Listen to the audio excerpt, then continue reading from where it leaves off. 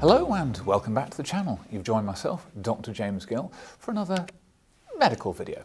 I've actually been joined by another doctor, but not a medical doctor. We've got Dr. Alice Mace here today, and well, you're not a medical doctor. What sort of doctor are you? No, so I, am a dentist, uh, so I look at the mouth. So, how, how you know, you've, you've come to medical school, why, given you already have a full, proper job and career?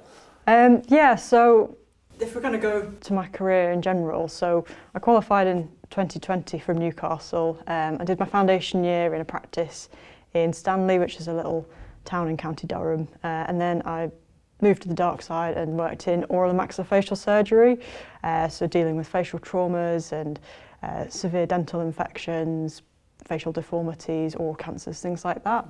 And then I worked in the northeast for two years in that, so in Newcastle and Sunderland, and really enjoyed working in it and found it really interesting. Um, but to be a consultant in oral and maxillofacial surgery, it's the only specialty that you have to be dual qualified in. So you have to do a medicine degree and a dental degree. So I'm back at medical school doing a medicine degree now.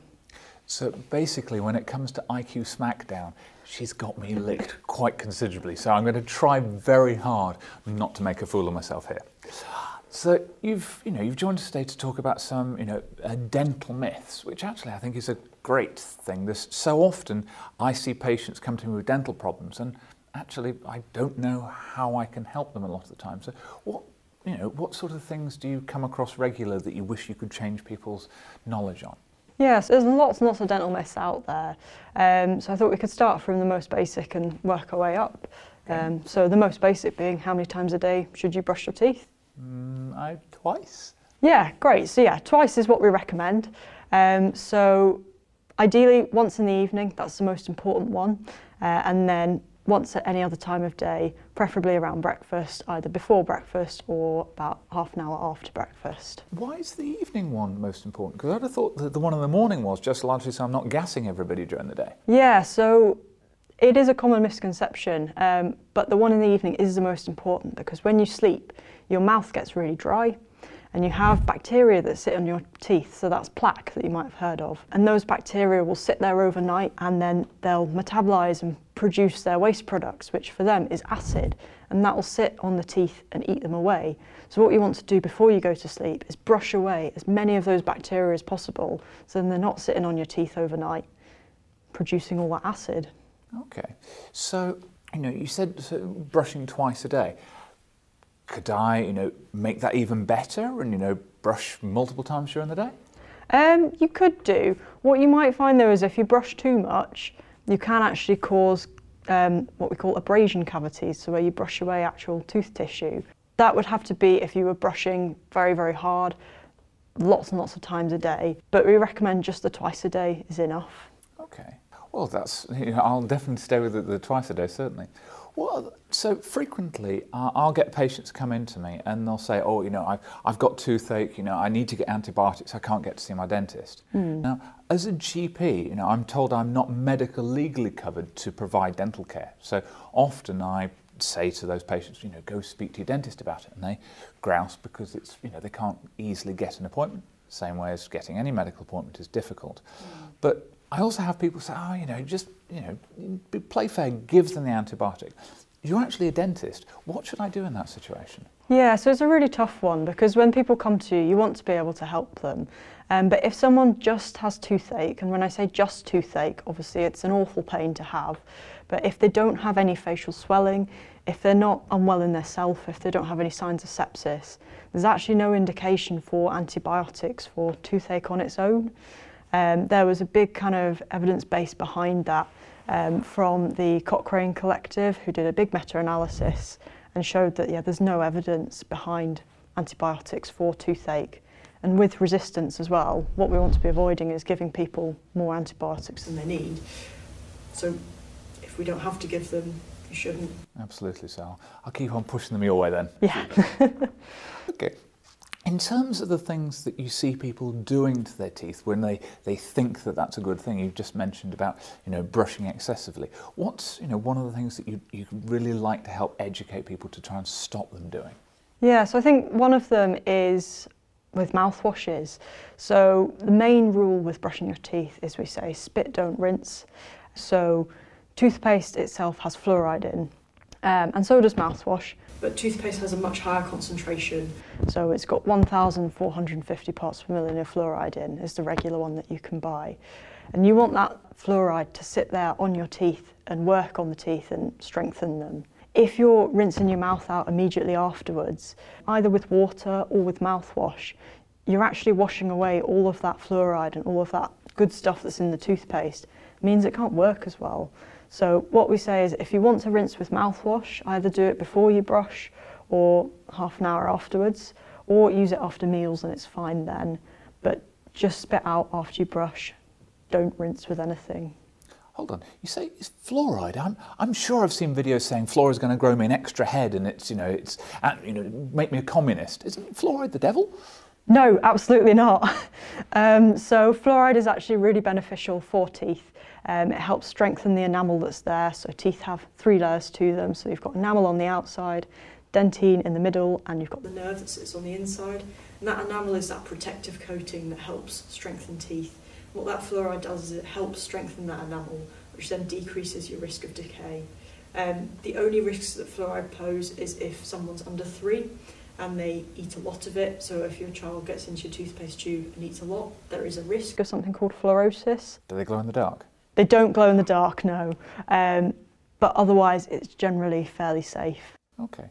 Um, in terms of myths, etc., somebody once told me that um, because my, my dental my teeth aren't that great, if you've got an early cavity, that fluoride can actually prevent and reverse that decay. Is that right? Yeah, absolutely. So if you see your dentist and you're perceived to be at higher risk of getting decay, you might be prescribed a higher dose of fluoride, so um, either 2,500 parts per million or 5,000 parts per million of fluoride, which can really help with halting that decay in its tracks if there is some or preventing more forming.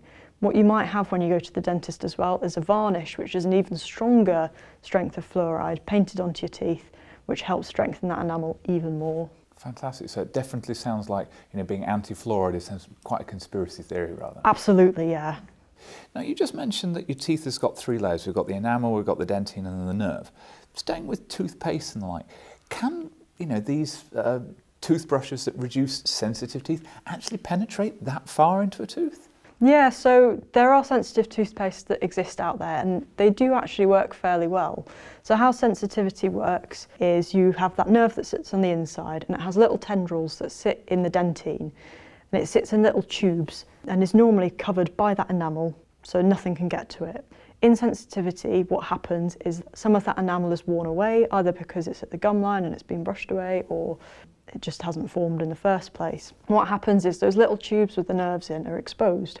So every time you have something really cold or potentially when you touch it, it's really sensitive. So what the toothpaste do is aim to block those holes and then prevent those stimuli getting to that nerve and which helps the sensitivity. There are lots of brands out there that you can pick. It's just finding which one works best for you.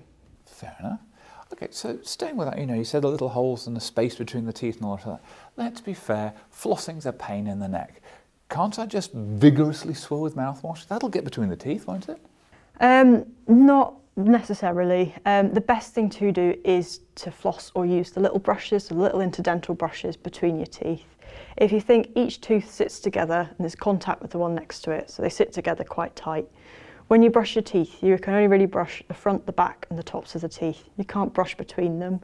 Um, so what the flossing helps to do, or the little brushes, is to get rid of any bacteria that's built up between the teeth. You can either use floss, the string, or in the little floss picks, or you can use the brushes to really help get rid of that between your teeth. Okay, so it sounds like a lot of the stuff that we can buy at the supermarket is actually there to do us good. Yeah. Are there products that we can buy on the supermarket shelves you wish we couldn't? Yeah, so I think one of the things is charcoal toothpaste. Huh? But hold on, loads of brands have got a charcoal toothpaste and it's going to make my smile 50 times better, isn't it? So as soon as you use it, it might look a little bit whiter because anything looks whiter if you put a black background next to it. but with charcoal toothpaste, it is actually really abrasive. So what it can do is wear away that enamel surface of the tooth and expose the dentine. That dentine is more yellow in colour, So if you think if you've worn away the thing that sits over the top of it, you've got more yellow shining through. So then you've lost some enamel, which is bad because you've got more risk of sensitivity, and your teeth potentially look more yellow, which is the opposite reason to why you're using the charcoal toothpaste in the first place. Okay, so I'm going to double check what's in the cabinet when I get home. Yeah. anything that makes my teeth more sensitive is absolutely no-no as far as I'm concerned. Mm. Okay, so we're not going to be buying any more um, charcoal-based toothbrush, uh, toothpaste. Is there anything else that you're particularly, you know, opposed to on those shelves? I think the only other thing really is toothpicks. Um, for cleaning between your teeth, as we just said, floss and the little little brushes are much better than toothpicks. Um, with toothpicks, you've got a risk that A, you might slip, you might stab yourself in the gums, you might tear them, and you might even get bits of wood stuck in your gums. So they're not very effective at getting rid of that bacteria between your teeth, and they might actually cause you harm. I'd never thought about trying to clean my teeth as a high risk activity. Okay, that's a new one. That's a new one. Gosh. Okay, I'm going to throw that on your side then. Is there, you know, a particular dental myth that you know you really wish that people didn't hold on to, something that actually stops them, you know, getting good health? Yeah, so I think one that's quite topical at the moment is um, going to Turkey to have your teeth done. Um, we're seeing quite a lot with more and more influencers going to Turkey and promoting turkey teeth, is what we call them, who have had this full full mouth of veneers um, and come back and promoted the service that they've had um, and said it's the best thing that's ever happened to them.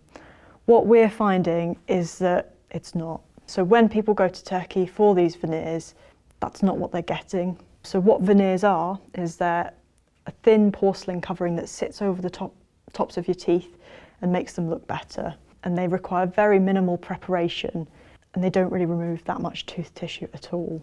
What we're finding is that patients who've gone to Turkey for these veneers have actually had a full mouth of crowns fitted. I was about to say, where's the inverted commas from? Gosh. Yeah. So yeah, so what, what a crown is in comparison to a veneer is it's essentially like a hat that sits on top of the tooth. And if you think about your teeth at the moment, there's not much space to get a hat to fit on them. So you have to prepare the teeth down to get it to fit. But unlike a veneer, it's a very, very high prep thing to have a crown done. Teeth don't really like having that done to them either. So then there's a risk that that tooth might actually die off as a result of it. So they're having these full mouth of crowns done and then they come back to the UK and then the issues start where the teeth start to die off. But then because they've had the treatment done abroad, a lot of UK dentists don't want to treat these patients because they don't know what they've had done, which is fair enough. But then your only option is to go back to Turkey to have them treated, which isn't ideal. It really sounds like someone's trying to get a, a, a small way of improving things and make things potentially catastrophically worse. Yeah, absolutely, especially kind of looking longer term, because if these teeth do require root canal treatment, that's obviously not very pleasant for the patient. And there have been cases where someone's come back from Turkey and they've required a whole mouth of root canal treatment. So every single tooth in their mouth has required root canal treatment, which obviously isn't ideal, especially when their previous state before they went to Turkey was the teeth was absolutely fine. Looking further in the future as well, crowns only have a lifespan of about 10 years. So if we look 10 years in the future, all of these crowns will need replacing. So that's that expense of going to Turkey doubled again.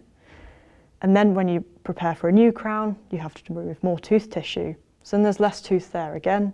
Again, increased risk of root canals. Fast forward 20 years from that initial appointment, again, those crowns might need replacing again. There's less and less tooth tissue left each time. And then, so you're looking at potentially ending up losing all of your teeth because of something you did when you were 20 to improve their appearance. Okay, hold on there. Plain devil's advocate, you know, we are medical colossi, you know, technologically wondrous, you know, beings now in the West. Does that matter? Can't I just have an artificial tooth put in? Yeah, so there are things you can do to fill in the spaces between teeth. Um, you can do bridges for if it's just a small amount of teeth replacing, which require preparing a tooth in front or behind um, to stick that false tooth in. You can do dentures, which are teeth on a plate that you remove in and out of your mouth. And then there are implants as well, so little metal screws that we screw into the jaw and then put false teeth on top. But they're surely as good as my normal tooth, aren't they? Um, not quite. So there's no real way of replicating normal teeth with anything that we can provide prosthetically. Implants are kind of what we call the gold standard for replacing teeth, but they still have their flaws. You can't feel the way you bite into things as well with implants, so you lose that kind of sensation of biting into stuff. And then implants are also susceptible to similar diseases that teeth get, so if you don't look after them, there's still a risk that they might fail, and they're really expensive. Gosh, okay. I think that might be a good opportunity to bring it to close. I think Yeah. I've got, I think I've got a, uh, a plane flight, a plane to cancel. Um, okay. Is there any other particular myths and things you think would be worthwhile to wrap up with today? Uh, I think just the main point of this video is teeth are really important. We could go on all day about how important they are and I mean, I studied them for five years and there's still stuff that I don't know and you're constantly learning, but there are loads and loads of myths out there. So if anyone did have any myths that they wanted to ask or questions, feel free to leave them in the comments uh, and we can try and get back to them.